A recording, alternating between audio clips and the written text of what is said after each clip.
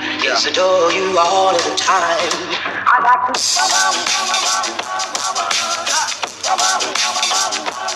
I like to.